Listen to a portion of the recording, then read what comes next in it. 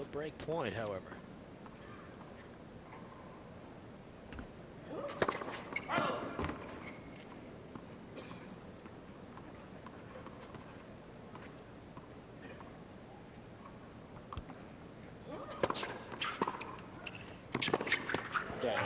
Chip in charge, and it's Henman all over the net. First game, second set.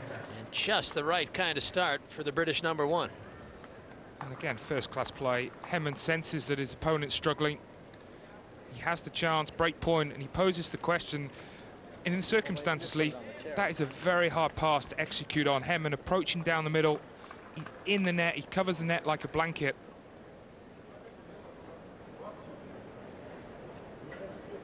Well, Henman's tactics have not allowed this man to get into any rhythm off the back. He's a guy who likes to hit a lot of shots, build up the point. Henman has really imposed his game.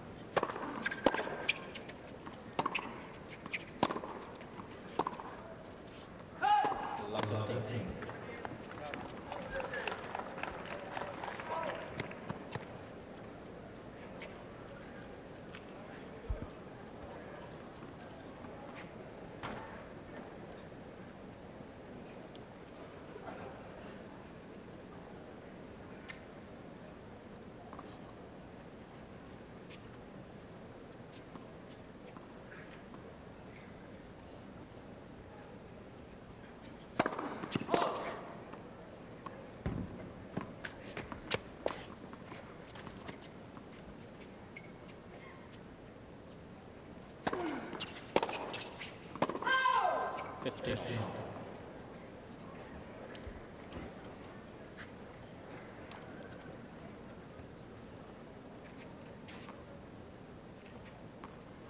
Just from the trajectory of the return, I thought it might have been good, and TMI there suggesting that yes, it was. Yet no overrule from the chair.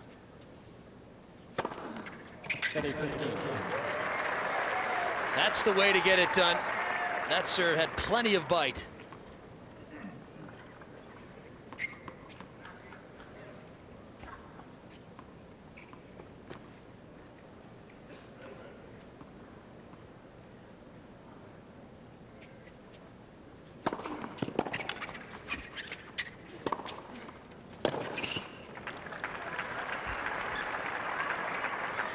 Well, three or four years ago, Henman was very high in the top 10 on serving stats. The last two or three years, when he changed his approach with Stefanki, he was nowhere to be seen. In 2004, he's returned back in the top 10 as service games won.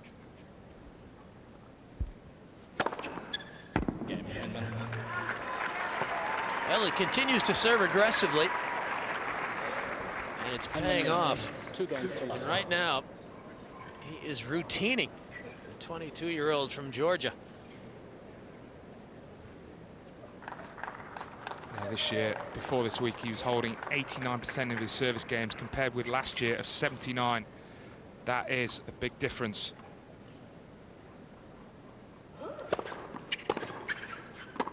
Fifteen. And when you return as well as Henman does, and make as many balls, you're always going to be looking and threatening to break serve.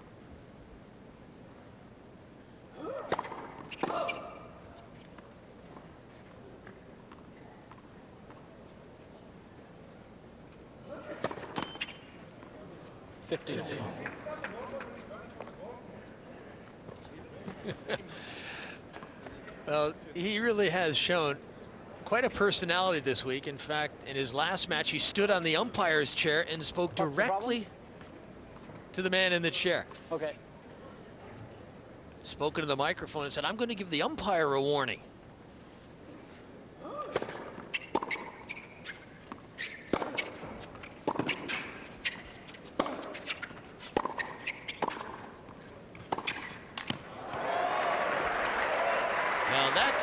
not going to work against this man.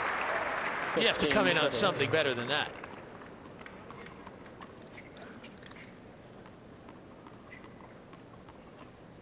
Hint of desperation from Labadze. That first volley well behind the service line.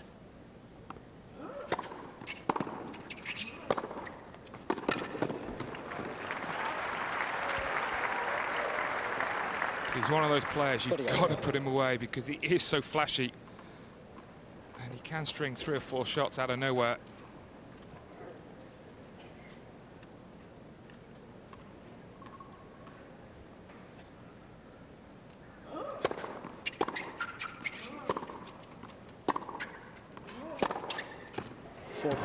No, you've got that right, Barry.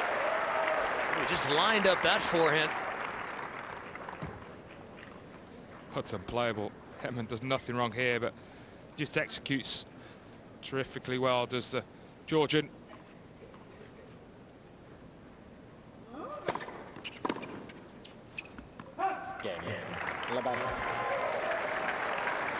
So he's not from Atlanta, Two Georgia. He's from Tbilisi, Two games to one. the Republic of Georgia. He's down a break in the second.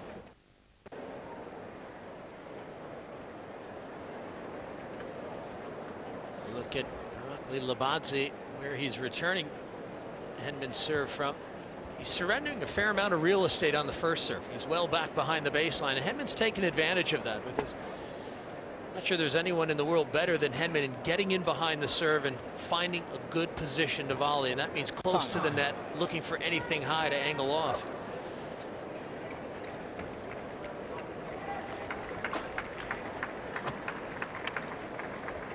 How much gas does he have left in the tank? Five matches, his first trip to the semifinals of an ATP event. You think, Barry? Has he got a shot to come back? He's got a shot, but I'm not sure the self-belief is there that he can beat Henman, who's on form. But,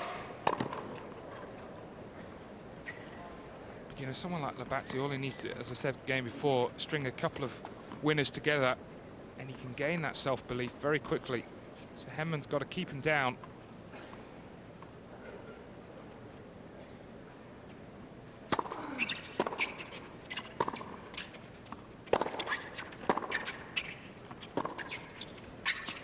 Fifteen. He's got a dangerous game. You can imagine, couldn't you, if he was firing at Wimbledon, could cause an upset. Labadze.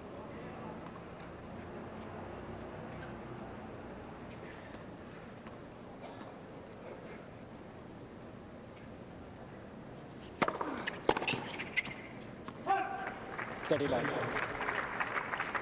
In fact, he's committed to making his debut.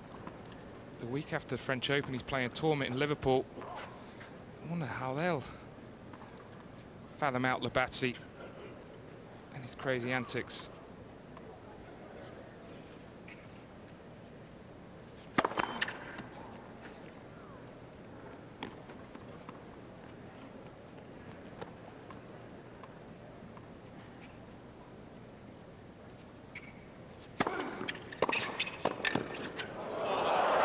Yes, what a dig.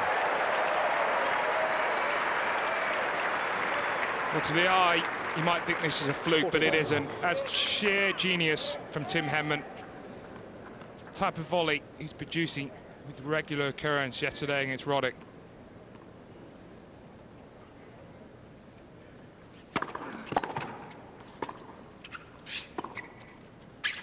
Game. And that volley before league, do you think do you think you can teach that, or are you just born with a gift? Well, I think some players have a natural And then the inclination to make that move more comfortably than other players. And if you started at a young enough age, you can learn to make that check step and that explosive step out there. But most players these days learn the ground strokes first. Not, not many players developing as serve and volleyers at a young age.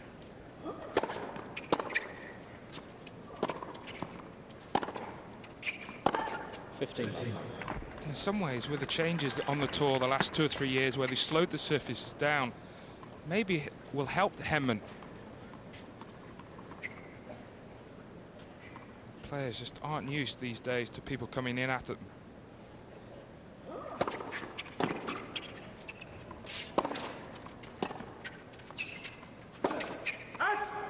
Fifteen. I think seeing Taylor Dent do so well here, taking out Gustavo Kuerten. Wayne Arthur is always dangerous when he's serving and volleying. He had a good run before Tim Henman dispatched him.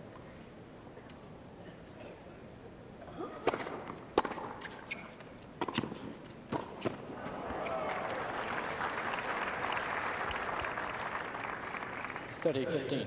I mean, when you were playing Leif, 99 out of the top 100 was serving volleys. Yeah. Plenty of guys moving in behind their serves.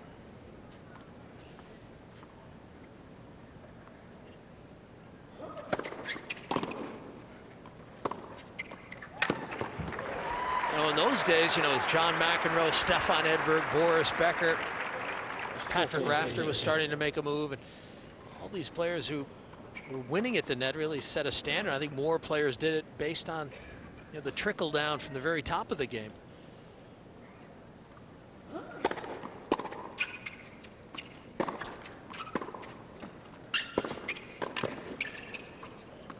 Game. So Labadze holds on. leads. Three games, two. two. Henman set and a break.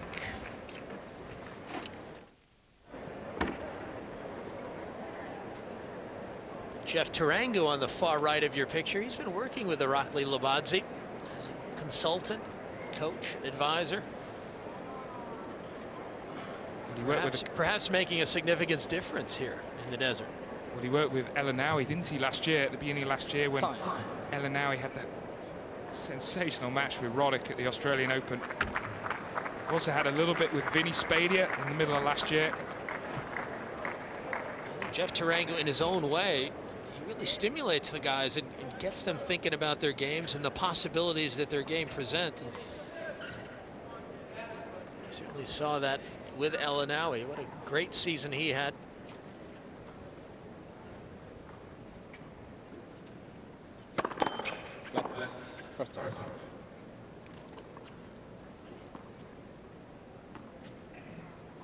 El Aynaoui finishing the year at number 14, career high. Out with injuries now. Unable to play this week here in the desert. Course, he had a great match early in the event last year against Lleyton Hewitt.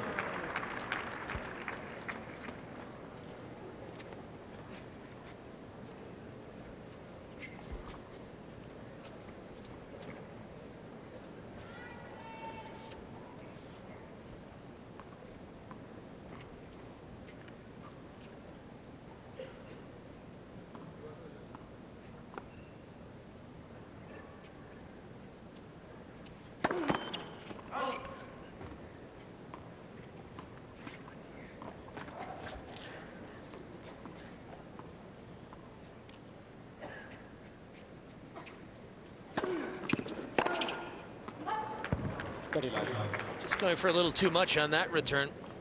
I discussed how Labadze was, you know, sort of making a name for himself in Georgian tennis history. The most famous Georgian was Alex Metreveli. But at that time, when Metreveli was playing back in the 70s, he played for Russia, although he was originally from the Republic of Georgia.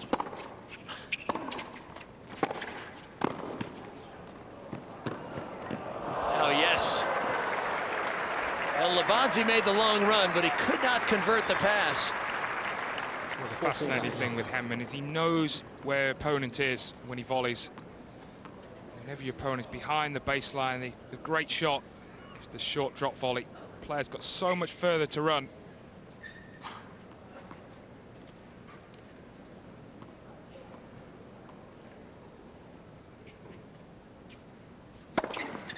Game. Henman. Well, he's done that a number of times today, hasn't he? The big ace down the middle. And Henman extends his lead. games, two, two.